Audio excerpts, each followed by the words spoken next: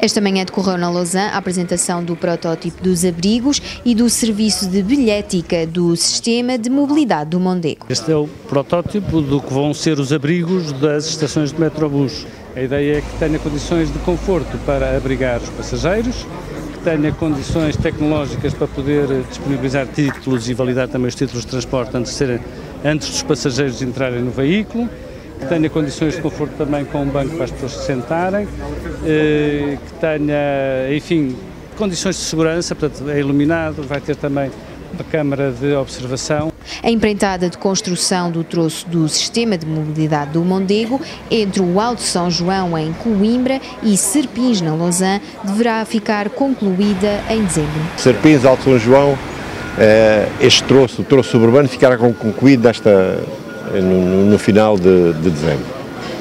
E depois temos a zona urbana, não é? Temos a zona urbana que está-se previsto para o próximo acabar no, acabando, como disse aqui o EG João Marrana, em, em, no final do próximo ano. É? O Presidente da Câmara Municipal da Lausanne tem a confiança de que a partir de julho de 2024 possa ser possível a utilização do metro. Concretização deste importante objetivo para o Conselho e para a região que é colocar em funcionamento e servir a população com um serviço público de transporte coletivo de qualidade.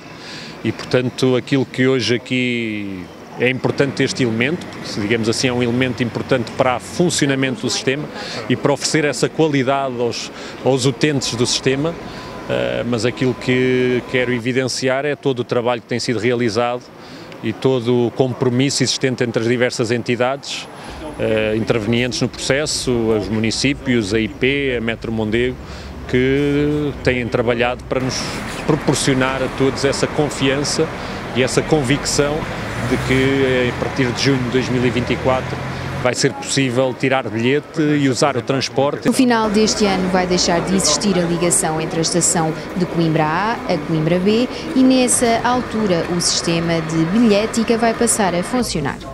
No final do ano, início, no primeiro trimestre do próximo ano, vamos ter o levantamento de carris, por isso deixamos de ter a ligação ferroviária entre Coimbra A e Coimbra B e, portanto, nessa altura é fundamental termos a bilhética em funcionamento. A AGIT tem que ser constituída, a nosso prazo é até ao final do ano, para podermos definir toda a bilhética e entrar com os procedimentos, disponibilizar o bilhete único eh, a partir do primeiro semestre, final do primeiro semestre de 2024. Portanto, até ao final do ano, os abrigos das estações estarão instalados em todo o troço suburbano.